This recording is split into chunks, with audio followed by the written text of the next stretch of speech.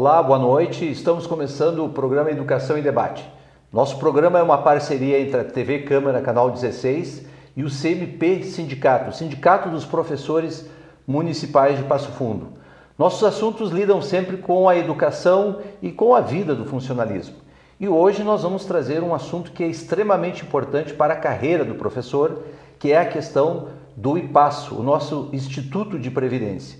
E para conversar um pouquinho sobre o IPASSO, nós convidamos dois colegas, podemos dizer, que um deles já esteve aqui várias vezes e um deles, ou uma delas, é estreante no nosso programa. Então eu quero, é muito prazer te receber, Eduardo Lucieto, que é diretor financeiro do IPASSO. Então Isso. seja bem-vindo novamente aqui, Eduardo. Muito obrigado pelo convite, Eduardo. Quero desejar uma boa noite a todos. Em nome de você, professor Eduardo, agradecer o convite feito pelo CMP. Muito obrigado a todos. É sempre um prazer, Eduardo. E temos aqui a presidente do IPASSO, a Marina Borowski, que está estreando no nosso programa. Então, Marina, seja bem-vinda ao nosso programa. Obrigada, agradeço o convite em nome do IPASSO. Uma boa noite a todos. Marina, vamos começar contigo assim. Ó. Conta para nós e conta para os nossos professores e uhum. para os telespectadores um pouquinho da história do IPASSO. Quando é que começou, como começou, o, quanto tempo tem de vida, enfim, mais ou menos assim, de um modo geral, o que é exatamente o IPASSO? Então, o IPASSO, como todos sabem, né, é o Instituto de Previdência dos Servidores Municipais né, de Passo Fundo. Ele foi criado em 2001, mas efetivamente as contribuições começaram no início de 2002. Né, já passaram várias administrações pelo IPASSO, muitas pessoas, muitos presidentes muitas pessoas que passaram por lá colaboraram uh, grandiosamente para o IPASSO chegar na estrutura que ele tem hoje, né? Hoje nós temos uma estrutura ainda considerada enxuta, se a gente for analisar outros municípios do estado que tem menos servidores e tem mais equipe, né, mais pessoas trabalhando. Hoje nós somos o corpo, o órgão gestor é o presidente do instituto, o diretor financeiro, que é o Eduardo, Eduardo. a diretora administrativa, que é a Cleonice, só não está presente porque está no período de férias.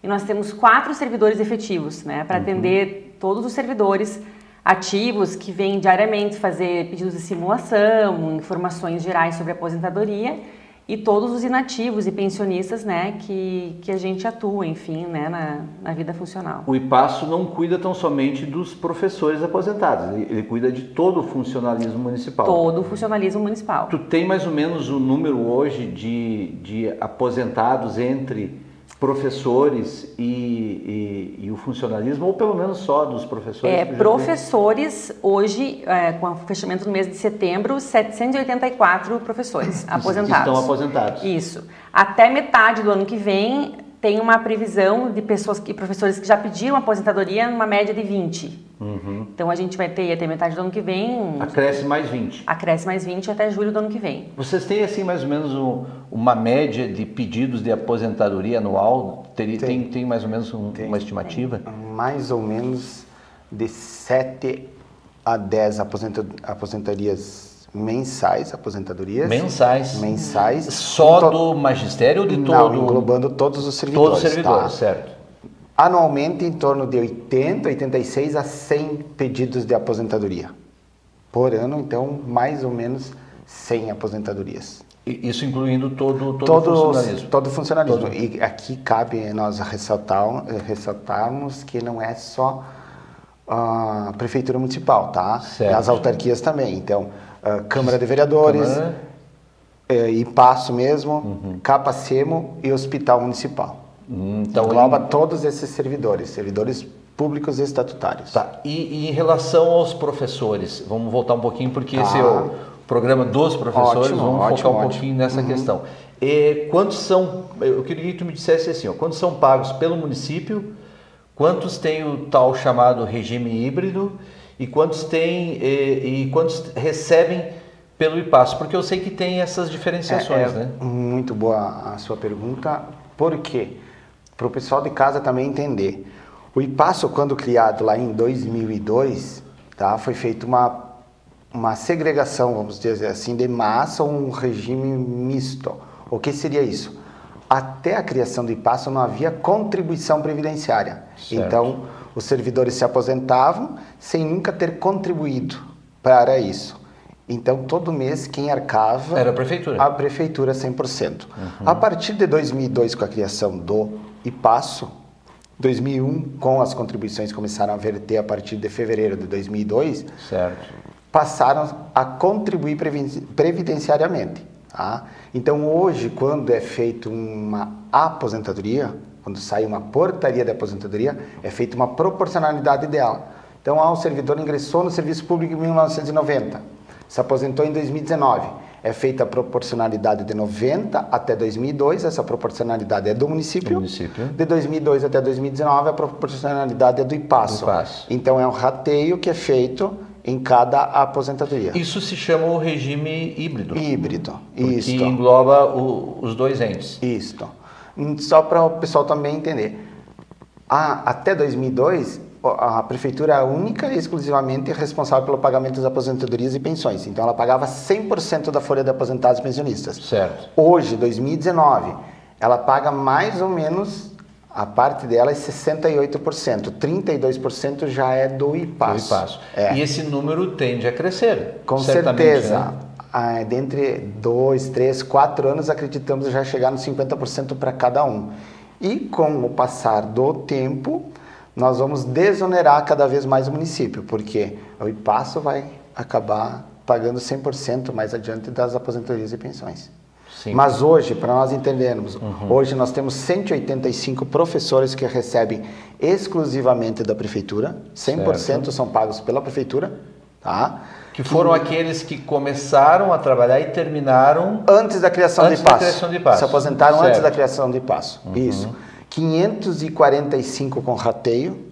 Do ah, regime híbrido. Isso. Uhum. Proporcionalidade passo, proporcionalidade município. Certo. E 54 já 100% pagos pelo IPASSO, que ingressaram no serviço público municipal após 2002 e daqui a pouco averbaram um tempo de fora, ou vieram do Estado, ou vieram é porque, da iniciativa privada. Porque na prática eles não teriam o tempo, tempo suficiente, suficiente, ainda só é, pela, pelas regras da prefeitura, né? Isso mesmo. Então, mas eles, são pessoas que averbaram de outros isso, lugares. Isso, né? averbaram, tempo de fora. Eduardo, mas me diz uma coisa assim, é, hoje em dia existe uma preocupação enorme com relação à, à questão previdenciária. Existe hoje um projeto em nível nacional que vai acontecer, está prestes a ser votado, e as pessoas se perguntam com relação às regras, como elas vão acontecer. Atualmente, aqui no município, quais são as regras para os professores municipais para a sua aposentadoria? Muito bem, vamos lá.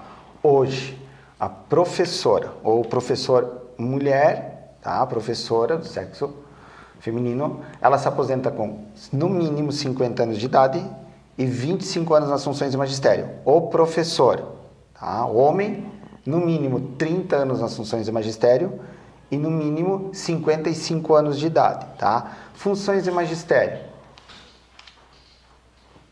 Professor, sala de aula, tá? direção de escola, coordenação, supervisão escolar, certo. tudo isso é abrangido como se fosse função de magistério. de magistério. Então não tem problema nenhum quanto a isso. Tem algum caso específico que a gente, lá no impasso mesmo, a gente vê na abertura do processo. A gente faz algumas perguntas para o servidor e ele vai nos colocar. Porque nós temos servidores que às vezes são convidados para trabalhar na Secretaria de Educação.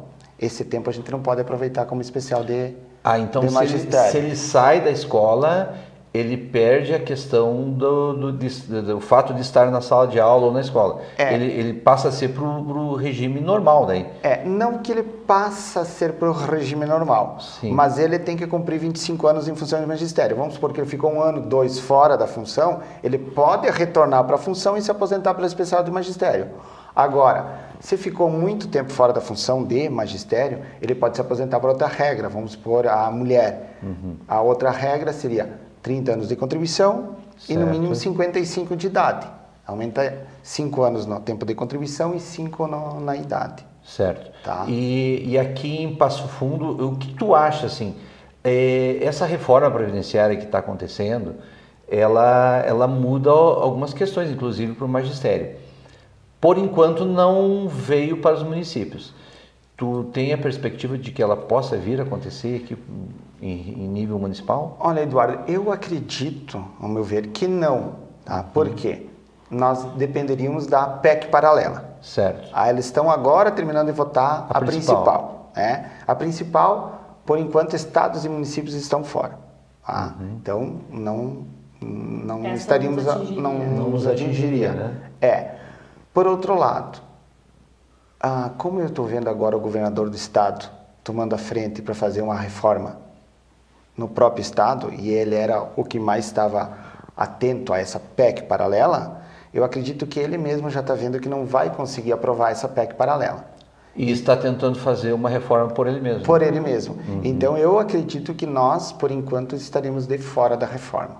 Marina, me diga uma coisa assim, ó, essa reforma que a gente está falando, ela tem por detrás dela há toda uma propaganda de que, de que com relação aos institutos de previdência, né, que são que, que têm prejuízo, que trazem prejuízo ao, aos municípios, aos estados, à federação. Existe inclusive um discurso da população de que questionando se eles de fato têm que pagar isso para o servidor, né? Existe hoje, né, um debate hoje na sociedade que cobra isso de nós. Eu queria que tu me falasse um pouquinho sobre a saúde financeira do IPASSO.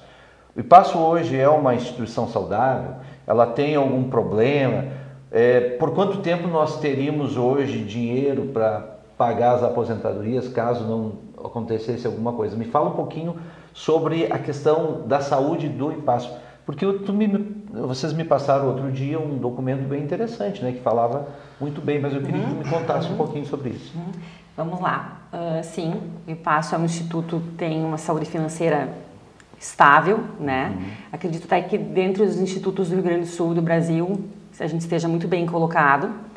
Hoje, né, o IPASSO tem mais de 17 anos de, de- da sua criação e ele ainda está em fase de capitalização, mesmo nós já vendo né, que, que, as, que os pagamentos dos proventos já, já estão começando a crescer, né, a, a onerar o instituto, mesmo assim a gente ainda está em fase de capitalização. O que, que é essa fase de capitalização exatamente, Marina? É, na verdade, a gente, ó, em julho, o IPASSO atingiu a marca de meio bilhão de reais capitalizados, né? Investidos. Meio bilhão, 500 milhões 500 de reais. Uhum. milhões, né?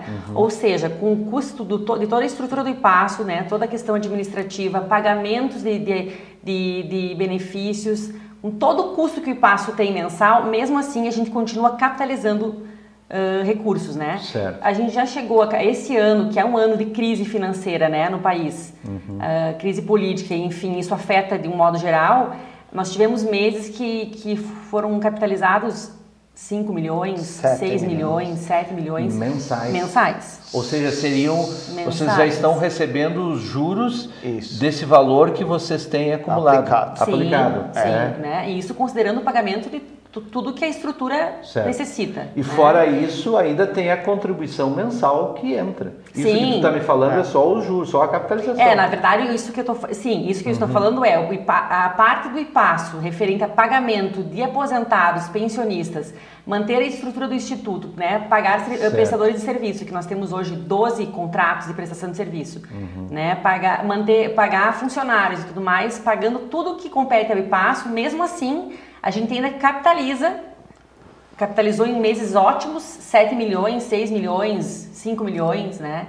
E isso leva o IPASSO, mas mantém o IPASSO numa situação muito favorável, né? Sim. Men- Anualmente, o, o- a Secretaria da- do Ministério da Previdência determina que seja feito um cálculo né, no Instituto que é chamado cálculo atuarial. Então, nós temos um atuário, que é o profissional responsável, contratado, para fazer o cálculo e verificar a saúde financeira do IPASSO a longo prazo, ou seja, o IPASSO vai ter recursos para pagar as aposentadorias dos próximos 30 anos.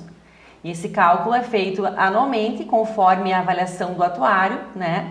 A necessidade ou não do aumento da alíquota. Certo. Desde a criação do IPASSO, ah, o IPASSO foi criado já com a alíquota patronal de 11%, é, mais uma suplementar de 1,13%. 1,13%, né? Isso. É. Então E- fica 12,13. Isso para o ente, né? Tá. Para o município. E 11 para o servidor, né? Que isso a gente nunca, nunca, nunca, Nunca houve aumento, né? Esse ano é o primeiro ano que, que o atuário está, está, analisou a questão com mais cautela e sugeriu um aumento de 0,87 né, na alíquota patronal. patronal. Patronal. Mas não isso, mexe no não servidor mexe também. no servidor. O servidor mantém estável como está, 11%. Tá. Ele sugeriu e vai acontecer ou essa sugestão ela tem É, isso foi encaminhado já para o executivo, executivo. Já foi encaminhado para o executivo. para ser analisado. Isso, exatamente. Tá.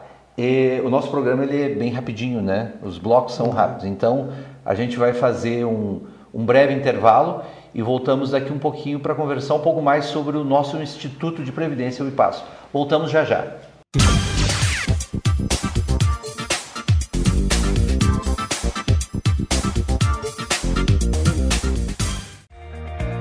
O que é importante para você é importante para a Câmara. A Câmara de Vereadores tem compromisso com a comunidade e transparência na gestão. Por isso, debater as necessidades da comunidade faz o trabalho do Legislativo ter muito mais resultados para você. Com participação, as mudanças acontecem e os investimentos geram mais desenvolvimento e garantem um futuro melhor para a nossa cidade. Câmara de Vereadores de Passo Fundo, a casa dos grandes debates.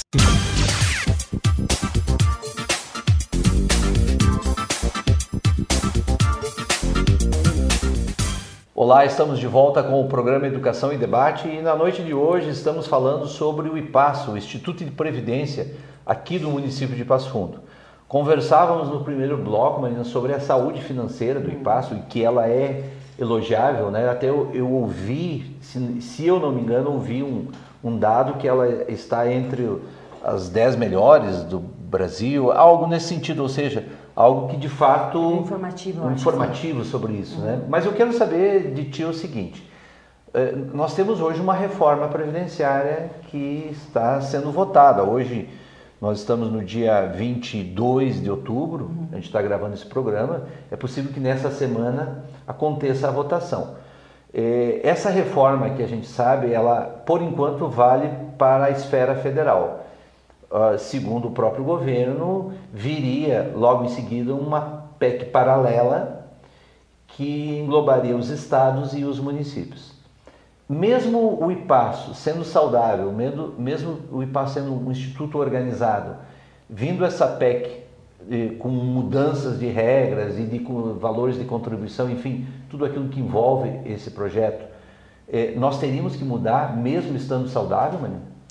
É, nós costumamos dizer, e, e, isso de um modo geral, né, que o IPASSO é um órgão executor, né, como bem falava Eduardo antes no intervalo, né, é, nós somos regrados todos, né, os institutos, enfim, pela Constituição Federal.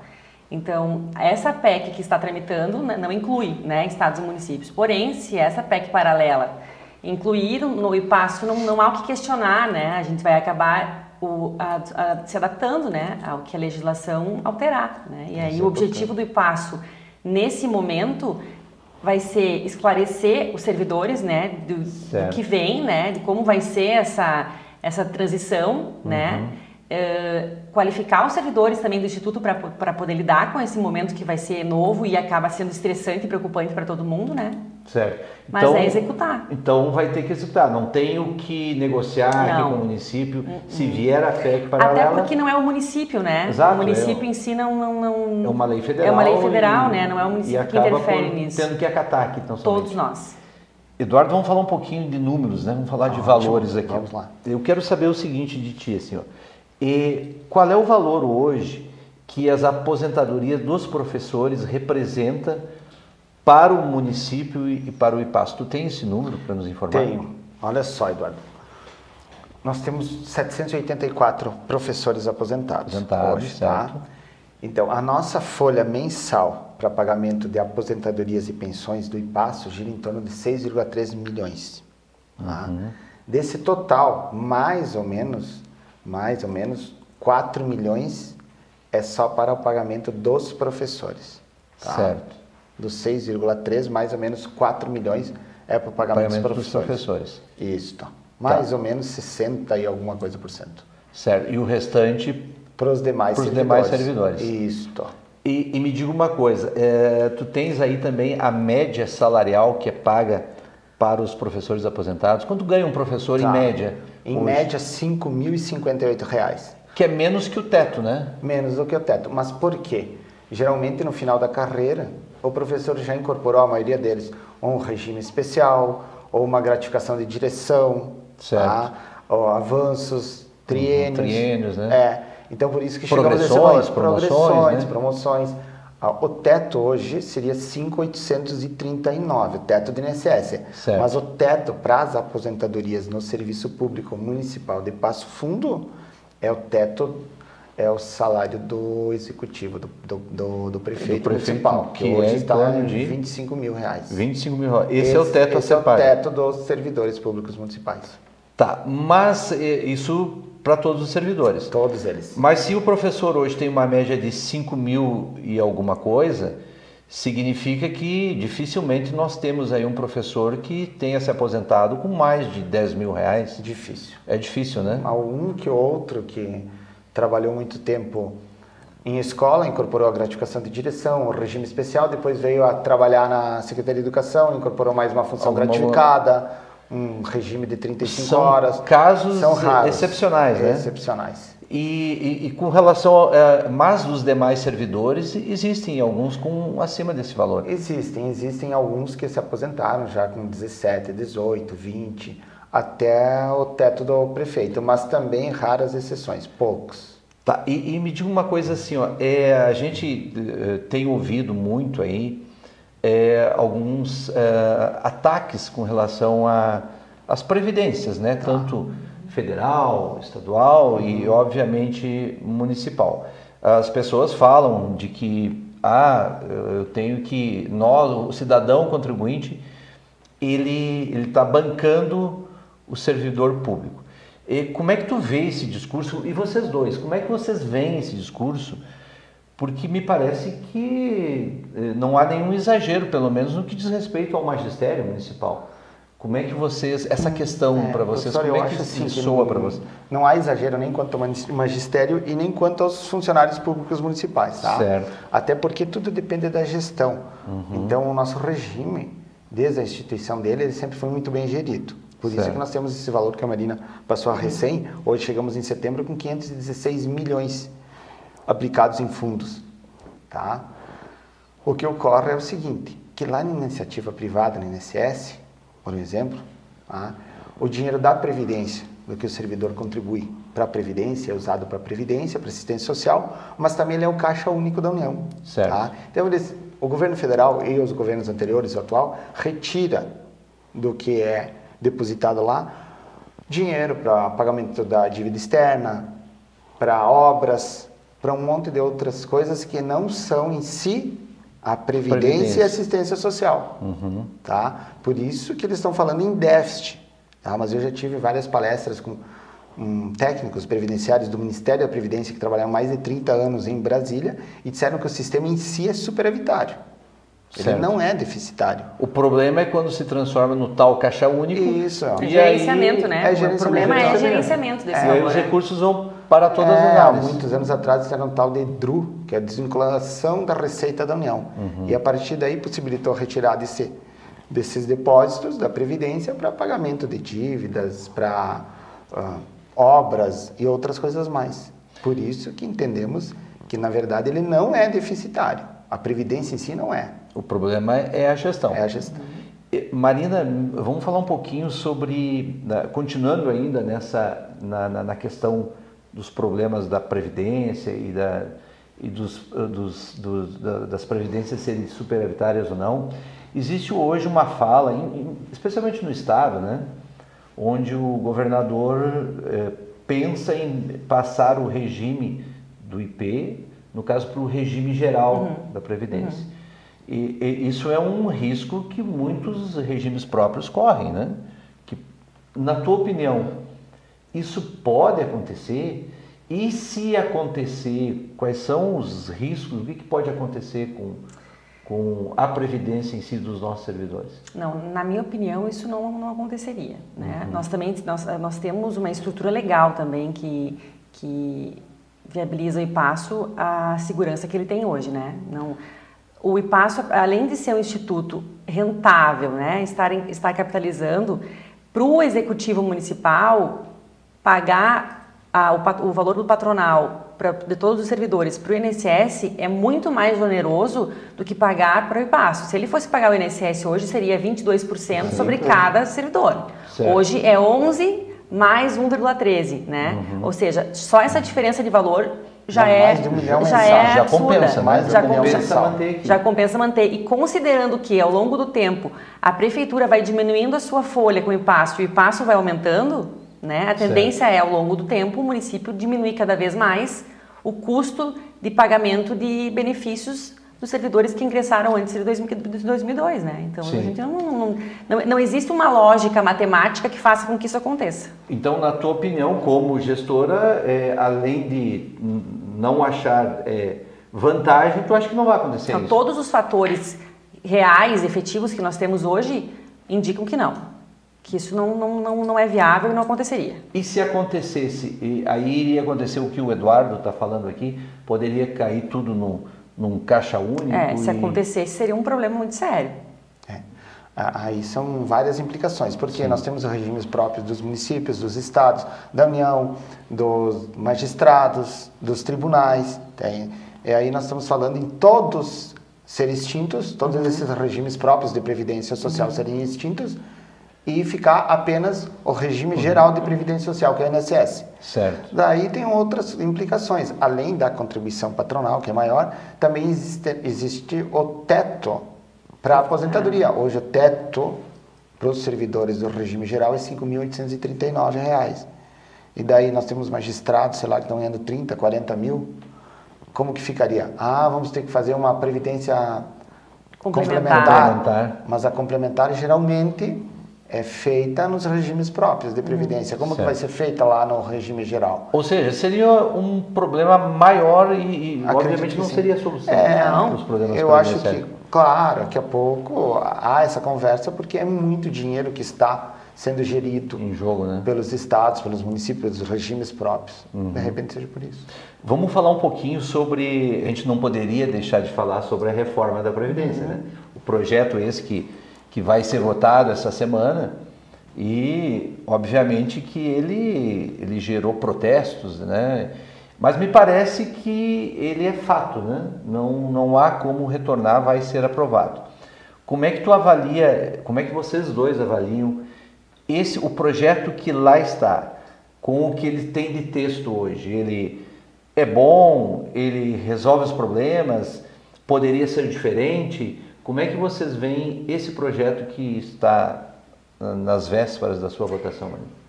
Eu acredito que ele não resolve o problema. Eu acredito uhum. que é paliativo, né? Eu até, a gente até brinca às vezes Sim. que eu sou nova no serviço público, quase 10 anos. Eu acho que vou passar por umas três ou quatro reformas da previdência até me aposentar, porque eu acho que como, como o, o problema é uma questão de gestão, eu acredito que isso seja uma situação paliativa, né? Nós vamos ter aí 10 anos para frente, a gente vai ter outro problema com outra reforma que vai ter que acontecer e assim o Brasil vai ir enquanto não houver uma questão de educação política e financeira de um modo geral, seja seja político, seja cidadão comum, enfim.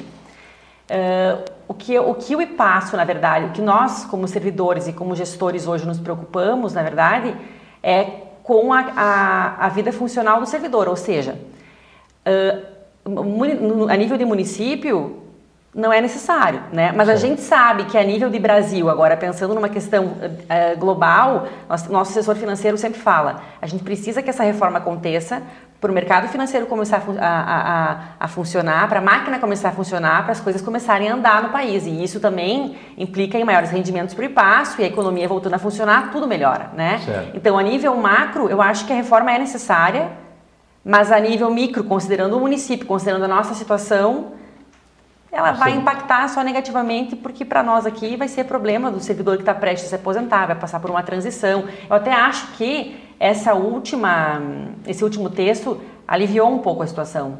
O primeiro texto eu acho que era mais rígido até. Você, Eduardo, pode falar é, melhor sobre isso. O, o, acho que houveram uma, transição o mais. governo ele recuou em algumas uhum. questões, né, na, é, em, algum, em, alguns pontos dessa da, da reforma, justamente para ela ser aprovada no uhum. Senado. Né? Com certeza.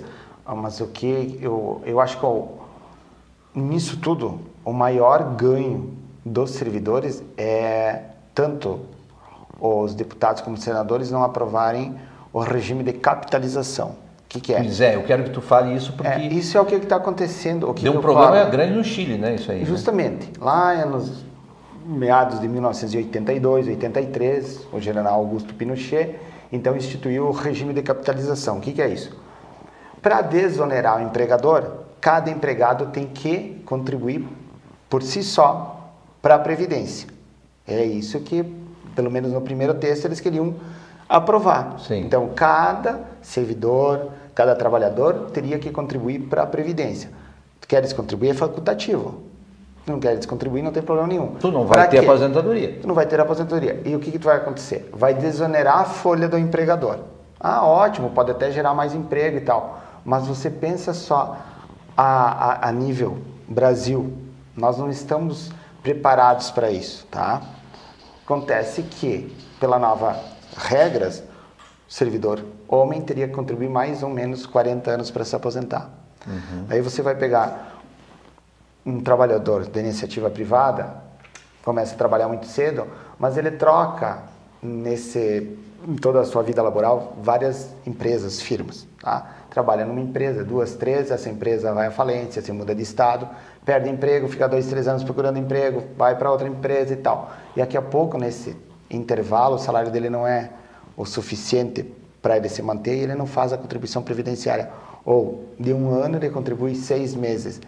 Aí quando ele está com 60, lá já está com 60, 65, 70 anos para se aposentar, seria apto para se aposentar, ele vai ver, ele não tem 30 Não. anos de contribuição. Porque houve muitas interstícios, né? Muitas É, e falhas. daí não né? vai ter aquele atrelamento ao salário mínimo. Certo. Tá? Então ele vai se aposentar, com o que está acontecendo lá no Chile agora, com 50, 60, 70, 80% do salário mínimo. Como que ele vai subsistir depois disso? Por isso que o, o, Chile hoje está em guerra civil. Tá? É isso que está ocorrendo. Os aposentados não têm mais como sobreviver com o que eles recebem da Previdência. É insustentável a É, situação. né? ah, o país cresceu? Sim, o país cresceu, gerou emprego? Gerou emprego. Mas, por outro lado, Houve um empobrecimento da, da população. população. Hoje, Perfeito. Mais de 50% da população do Chile vive com menos de 80% do salário Do mínimo. salário mínimo. Isso. E Isso é grave, né? E Muito. caso essa capitalização logo ali adiante, porque ela pode voltar, né? Pode. Existe Era uma proposta, é uma do, proposta do, do é- ministro da Economia. ela, por Era enquanto uma- não nesse projeto, mas ela pode Mas era uma proposta. voltar, né? Então, eu acho que aqui nós já tivemos um, um ganho, tá? Sim. Aqui, nesse, nesse fundamento. Olha só, nosso programa, quando o assunto é bom, passa muito rápido, né? Então, nós já estamos encerrando o nosso programa. Então, eu quero agradecer a vocês dois. Então, Marina, muito obrigado pela tua presença e espero que você volte mais vezes aqui para a gente conversar sobre esse assunto que é tão instigante e tão importante para nós. Imagina, eu que agradeço e a gente já pode marcar um, um novo programa para tratar desse assunto. Perfeito. Vai ter muita coisa para falar daqui para frente, né? Sem dúvida nenhuma, né? Eduardo, então, mais uma vez, né? Tu já esteve várias vezes aqui conosco, então te agradeço a, a gentileza de, de vir aqui conversar com os nossos professores. Obrigado, Eduardo, pela tua presença. Hum, Nós que agradecemos, Eduardo. É sempre um prazer estar aqui com vocês. Obrigado, CMP também. E a todos que nos estão nos assistindo. E eu agradeço a atenção de todos vocês, o carinho de terem nos recebido e convido a todos e todas para que fiquem conosco aqui na TV Câmara Canal 16, porque daqui a um pouquinho nós temos mais programação de qualidade. Uma boa tarde, uma boa noite, na verdade, e uma boa semana a todos.